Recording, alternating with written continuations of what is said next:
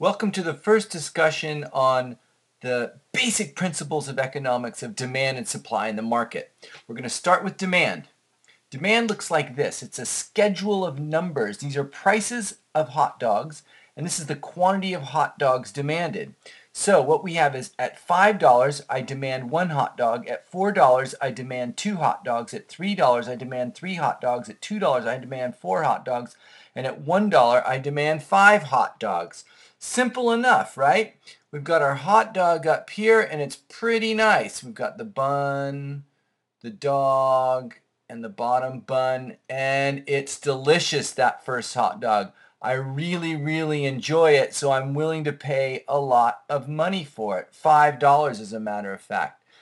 Well, what if we buy a second hot dog? So we're going to get two hot dogs. What about that? Well, you know, the first hot dog was great, but the second hot dog not as yummy because I've already had a hot dog. So this second hot dog, I'm only willing to spend $4 on it. Then how about the third hot dog? I'm starting to get a little bit full. The fourth hot dog, the fifth hot dog, actually I've got ketchup all over my mouth. I'm not very interested in it. So I'm only going to willing, willing to spend $1. Something's happening here. As I add my hot dogs, I'm getting less value. This is one reason why the law of demand holds. This is our first little bit of law. It's very important, this concept. So important, I'm going to change my color here.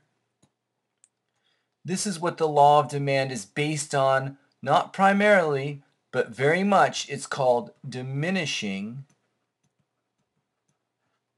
marginal utility. Very important to understanding supply and demand in markets and why this is such an important thing and why markets work. Well, what's going on here?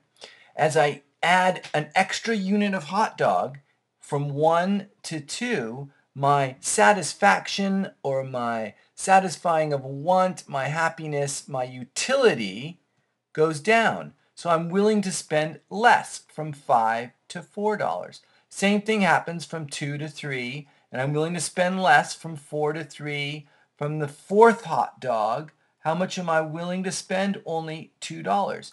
Marginal, the next hot dog, how much is it worth to me? Less because my utility is going down.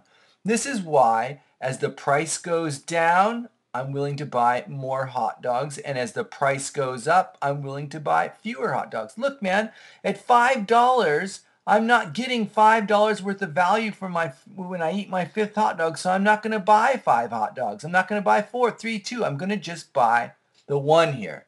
So the law of demand is very important, and we'll see why, because it gives us an idea of why demand is associated with benefit or utility. There are other reasons why when the price goes down, you buy more. Here's another one.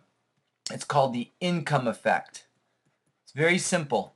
As the price goes down, you have more income available, so you buy more hot dogs. That simple. As the price goes up, you have less income available, so you buy fewer hot dogs. How about number three? Number three is the substitution effect. Substitution effect.